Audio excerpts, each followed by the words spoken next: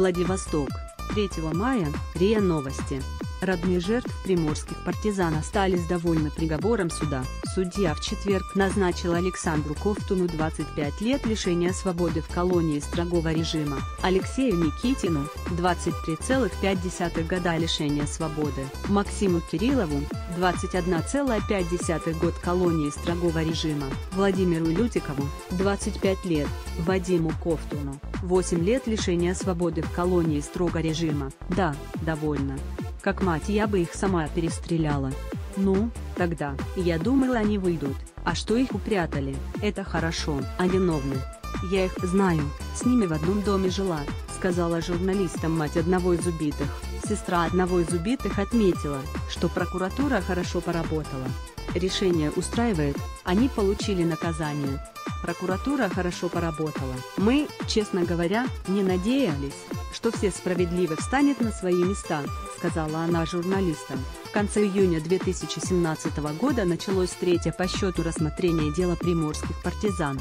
Фигуранты Максим Кириллов, Алексей Никитин и Вадим Ковтун не признали вину. Владимир Лютиков и Александр Ковтун, отвечая на вопрос о виновности, сослались на статью 51 Конституции РФ «Никто не обязан свидетельствовать против себя самого». В суде пересматривается эпизод с разбойным нападением и убийством четырех человек 27 сентября 2009 года.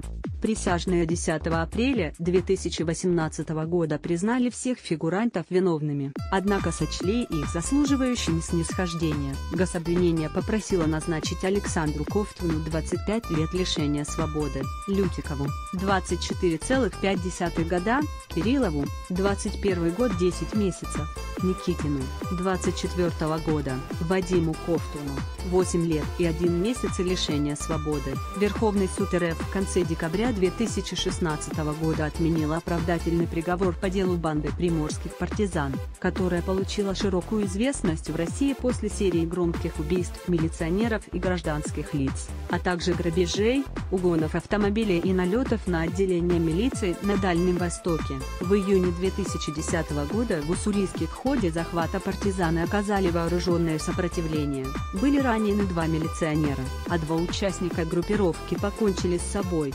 В конце июля 2016 года при пересмотре дела коллегия присяжных вынесла оправдательный вердикт.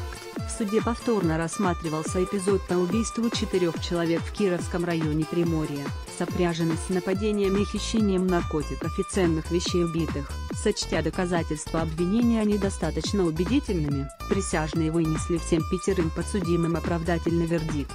Алексей Никитин и Вадим Ковтун были освобождены в зале суда, а Александр Ковтун, Владимир Лютиков и Максим Кириллов остались под стражей. Им предстоит отбывать наказание по эпизодам, за которые они были осуждены ранее. До этого суд решил вновь взять по стражу Алексея Никитина. Позднее суд арестовал и Вадима Ковтуна.